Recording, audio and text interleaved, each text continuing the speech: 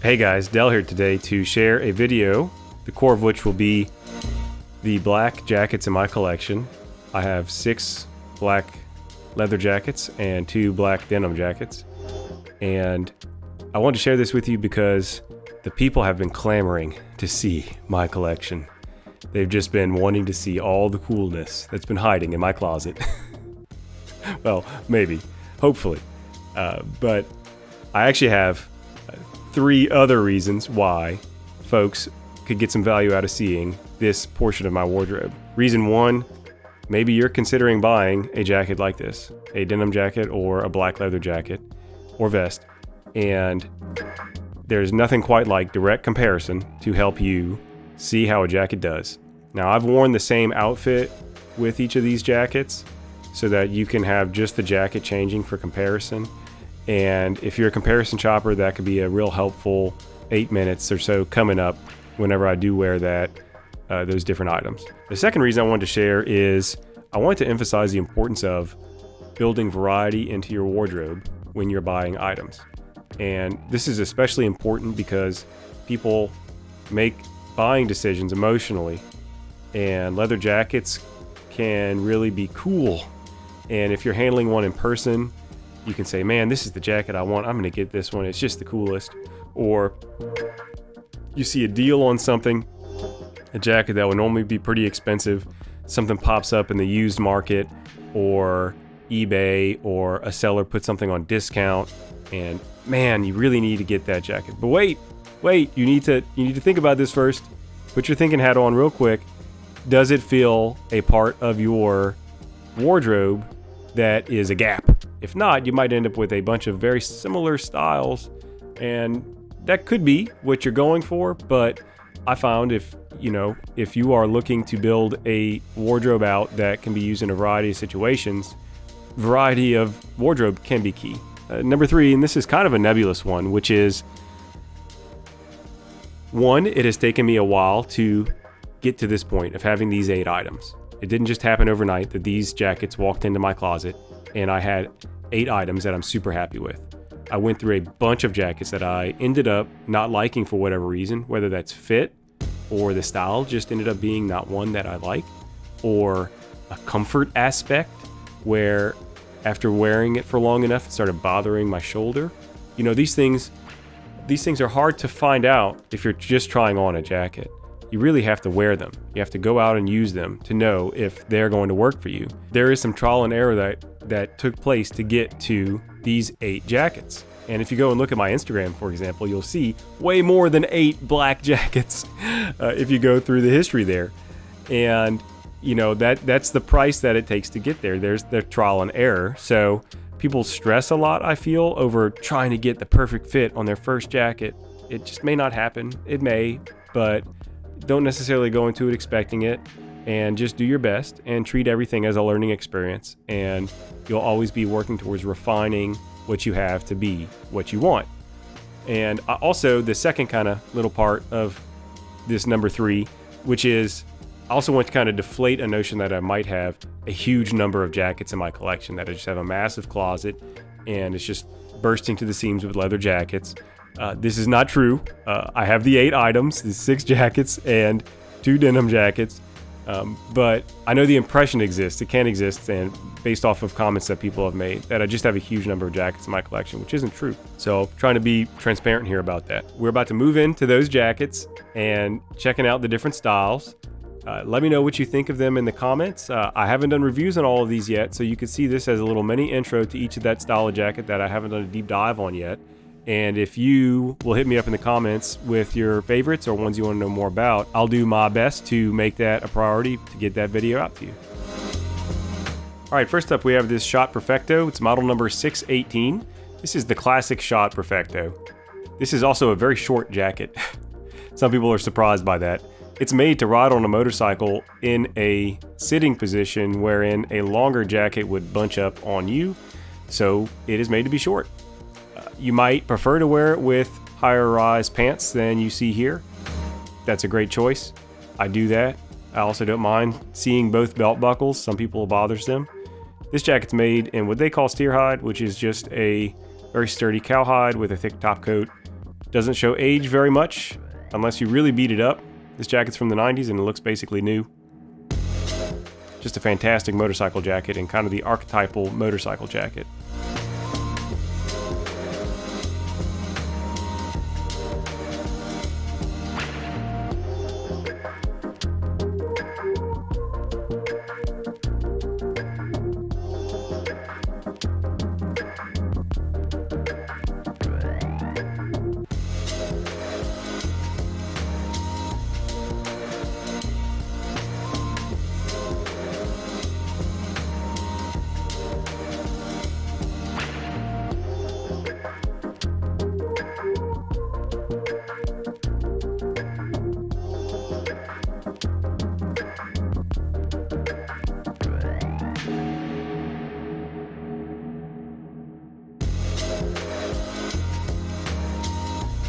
All right, second jacket we have here is a vintage Cal Leathers jacket, a California Highway Patrol style jacket made in the 50s or early 60s. I suspect it's made out of horsehide due to the quality of the grain in this jacket, though I have no confirmation of that.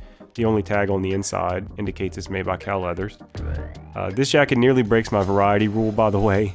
I have another motorcycle jacket, the Schott Perfecto, but I am, I guess, a bit of a collector in the sense that I really wanted this jacket. I think it does veer more into the heavy duty side of things than my Schott Perfecto does, so I gave it a pass and decided to buy it. This jacket nearly weighs 8 pounds, but does not feel it on. Has a very thick satin lining. It's, it's honestly a super comfortable jacket to wear for how hardcore it kind of looks. And uh, there's a reason why this jacket is so prized by collectors. It's just a fantastic jacket. All right, third jacket on the list is this Langlitz Timberline.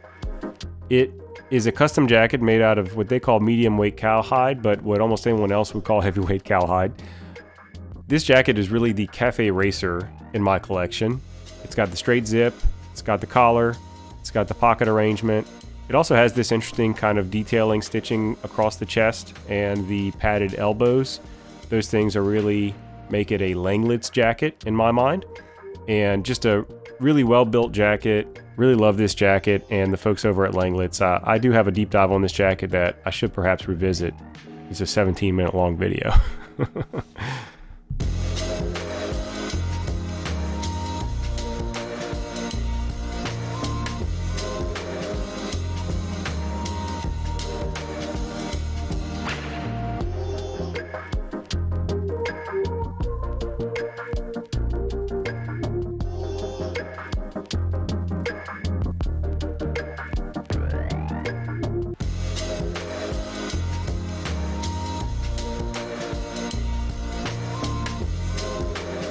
Fourth jacket here is this ELMC Californian. This is a new jacket in the style of a vintage half belt from the 40s or 50s. It's in a very lightweight horsehide. It's very easy wearing.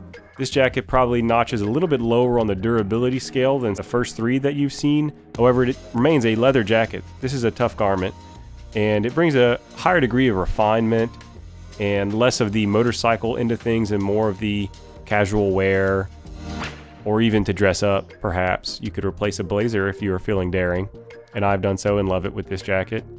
Just a fantastic repro by ELMC.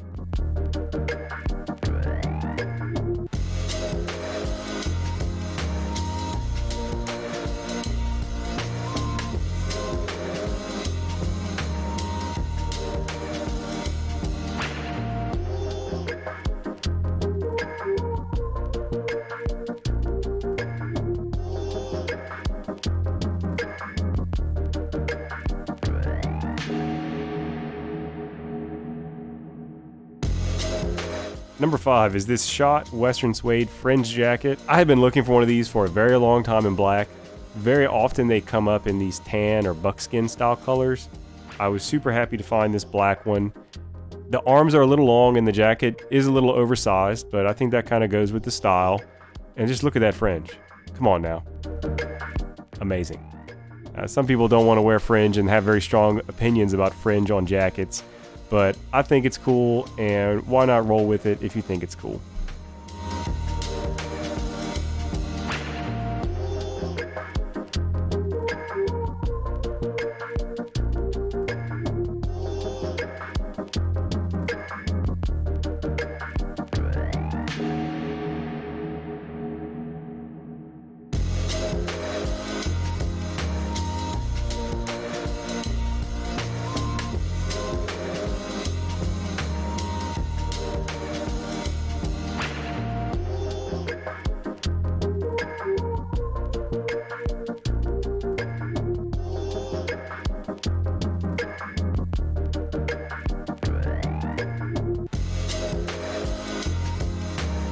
Six up on the list is this horsehide deep pocket vest from Cushman out of Japan. It's the newest item on the list to me, and I gotta say, even though I'm still in the honeymoon period with this vest, I am super pleased with it. I find it to be kind of strikingly versatile. I wore it with a t-shirt and jeans. I've worn it with dress trousers and snap shirt and a tie, and really everything in between. I think it can go with. This is a versatile vest if you like motorcycle jacket styling. Uh, the weight of it, it's very light. It's the lightest weight of these items. It does have a cloth backing on it to give some amount of form to that lightweight hide. I think it just makes such a perfect piece for hotter weather.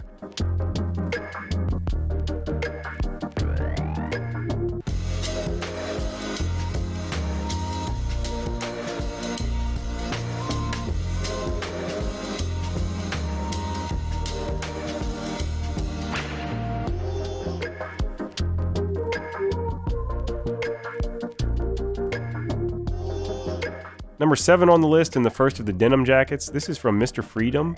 It's what they call the Continental Sport Coat in JC Black Denim. JC standing here for Johnny Cash. Uh, what this is is an indigo and then they over dye it black. It weighs in about 12 ounces and as it is worn, that black over dye chip away and fade away and reveal the blue indigo all the way down to the white threading. So this jacket will fade over time pretty dramatically. Uh, something that Mr. Freedom is known for. But right now, it mainly shows a little bit of blue around the edges. I think it's just a great kind of refined, casual jacket, and it's an easy wearing 12 ounces.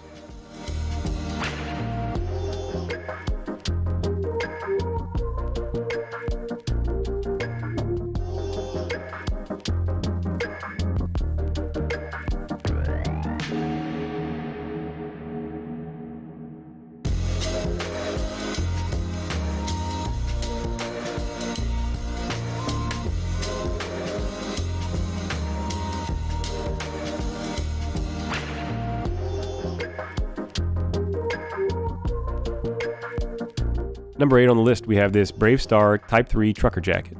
This is a heavyweight denim jacket, weighs in at 21.5 ounces. It was like stiff cardboard armor when I first got it. It bruised and hurt my inner elbows when I would flex my arm. My thumbs could barely get the, the buttons done up. You know, this was a difficult jacket at first, but it got wet. I also washed it. It has really formed up over time to be a much more comfortable jacket and just really a stellar kind of standout trucker jacket. Bravestar knows what they're doing, and trucker jacket is just such a classic. With all the black I wear, I really wanted to have one in my arsenal.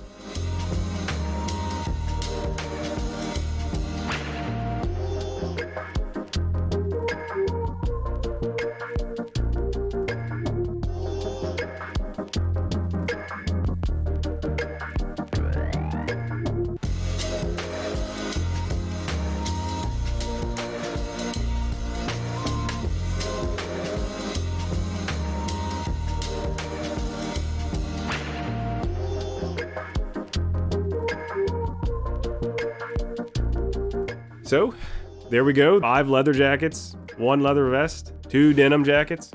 You know, I really uh, hope you enjoyed this video. Let me know what you think down in the comments. And again, reminder, uh, whichever one of these that you'd like to see a review of next, hit me up. I'm trying to make videos that you want to see, so let me know.